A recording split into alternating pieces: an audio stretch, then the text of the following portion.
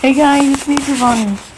I also want to mention you that I found Wheat Thins toasted chips, little Italy, little little Italy roasted garlic. It's new flavor from Nabisco. Nabisco, you've done it again. You you released a new flavor, and now I want to try it so bad. Put it in Weis and more in, in other stores. Thank you.